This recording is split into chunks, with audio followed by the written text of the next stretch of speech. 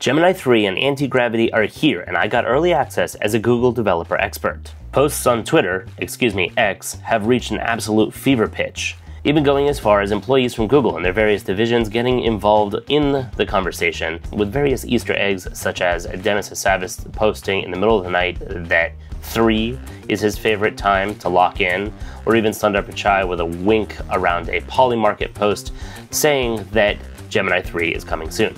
Well, if your money was on November 18th as the day that Gemini 3 was going to be announced, you are in luck. I've had a chance to play around with Gemini 3 as well as Google's new IDE, Anti-Gravity, for a little while now. Let's get into what's new, where it's coming, what's going to show up, as well as all the new information that I have around it, some of which you may not even find posted in the blogs covering the event.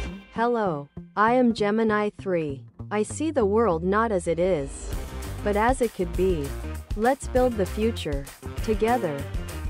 That was the voice of Gemini. I asked it to introduce itself and also to come up with a bunch of different thumbnails that it could use in this video, and that's what you're seeing on the screen now. Visionary, Architect, Multimodal, Master. My personal favorite is last one here is Gemini 3 Pro. Look how nice and detailed the reflection is. First things first, where is it going to be available and who's going to get it? Gemini 3 Pro will be available in the enterprise and developer surfaces, including Gemini API, Google AI Studio, Gemini Enterprise Vertex AI, Gemini CLI, Firebase AI Logic, Android Studio, and of course Google Anti-Gravity.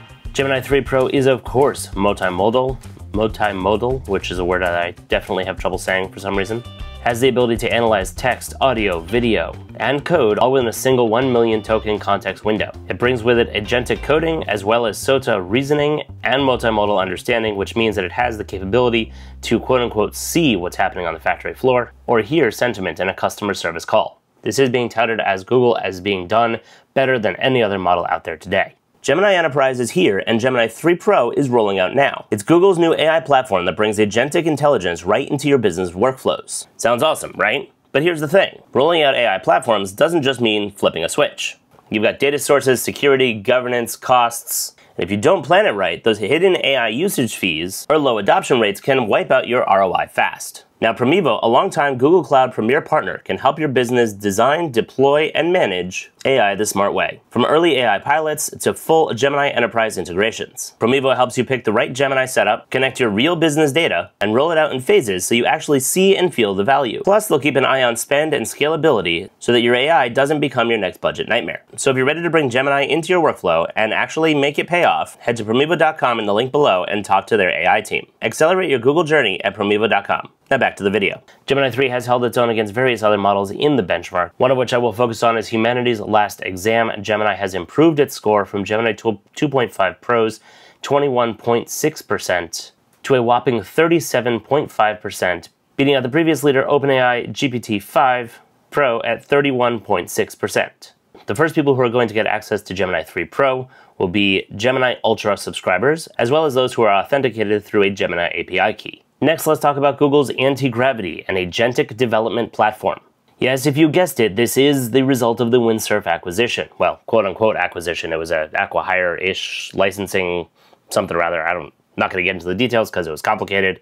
But the result is Google wants to get into agentic coding in a very big way, and here is the result. The goal here is to have a number of asynchronous agents working on your app and your requests all at the same time, which you can manage from a centralized dashboard. If you're familiar with Google's Project Mariner experiment, this shows up here as well, where the agent is able to take control of your browser, do tasks for you, as well as record and show off its work as it goes. Google focused very heavily on user trust here. There's multiple levels of the agents that you can set up, whereas you can be the man in the middle of the loop where you can be constantly being asked by the agents if it should proceed, if you're happy, if you want to make changes, or if you just want to full send it, you can set it onto that mode as well and just let it barrel through on its own and see where it ends up at the end of the day. I'll be following up this video with a deeper dive showing off how to get started with Google's anti-gravity and what are some of the tasks that it's capable of. There's a big jump in Google's AI capabilities and hopefully we'll see the rollout of this model and various forms of this model to various other tools. I myself being a Google developer expert specializing in Google Workspace